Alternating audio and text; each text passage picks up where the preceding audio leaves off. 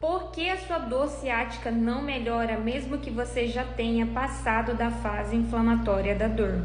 Eu fiz um vídeo recentemente explicando sobre a dor crônica ciática e muitas pessoas ainda ficaram com dúvidas em relação a esse tema, o que foi abordado sobre os medicamentos e sobre a cirurgia da dor ciática.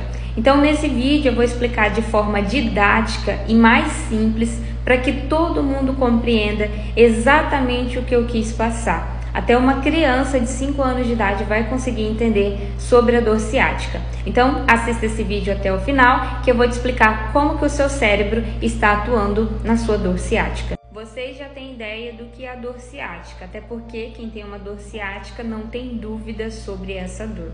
A dor ciática ela pode acontecer por diversos fatores, uma inflamação ou uma compressão. E essa compressão pode vir por conta de um cisto, um tumor, uma pressão da musculatura do piriforme, como a síndrome do piriforme. Pode ser causada também por causa da hérnia de disco, que ela pressiona esses nervos e irradia dor. Não está ali por enfeite. Cada parte do nosso cérebro tem uma função e o nosso sistema autônomo é o que vai manter o nosso corpo em equilíbrio, em homeostase, regulando assim temperatura corpórea, processos digestivos, trabalhando na restauração e reparação de células danificadas, frequência cardíaca, liberando anticorpos que irão combater infecções e inflamações. Basicamente, o nosso sistema nervoso é o que nos mantém vivos e em equilíbrio funcional. Mas qual a relação do nosso sistema nervoso com a dor ciática?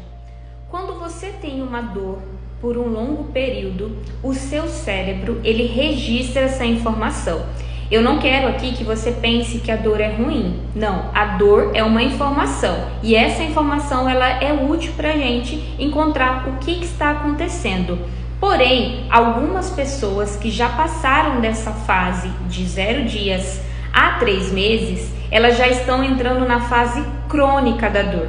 E aí você vai compreender por que, que a sua dor ela não melhora, mesmo que você não esteja mais com tecido ou ciático inflamado. Na fase aguda da dor, existe uma danificação nesse tecido.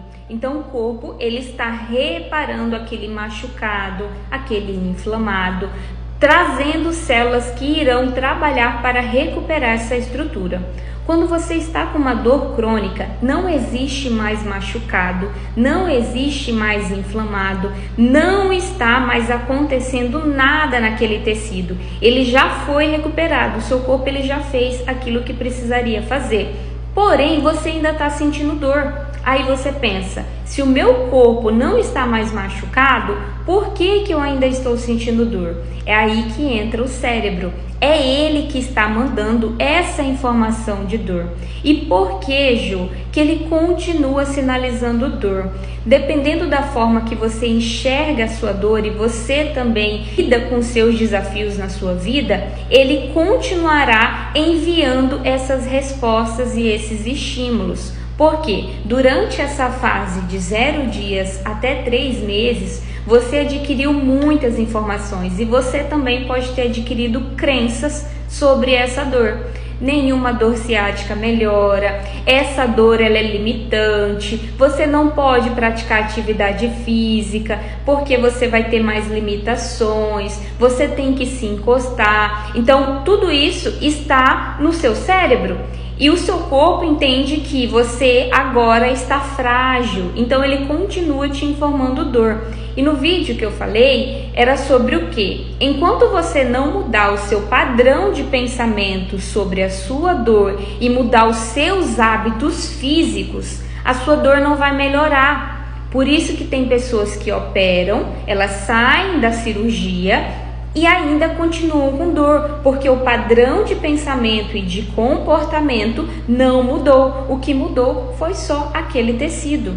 Esse vídeo ele ficou um pouco mais extenso para você entender o que acontece na dor crônica. Resumido, é que não existe mais machucado, quem está mandando a informação é o cérebro. Sendo assim, para eu melhorar a minha dor, eu preciso mudar o meu padrão de pensamento e os meus comportamentos. Por isso que eu falei da atividade física, das informações que você fica absorvendo, da mudança de pensamento, entender que a dor é só uma sinalização, a dor não é uma doença e sim que o seu cérebro está te informando que algo precisa ser ajustado e esses ajustes são na sua rotina e no seu padrão de pensamento. Então, não existe receita de bolo para tratar a dor crônica, é uma mudança de hábitos constantes por isso que é necessário você fazer um acompanhamento fisioterapêutico com alguém que é especializado.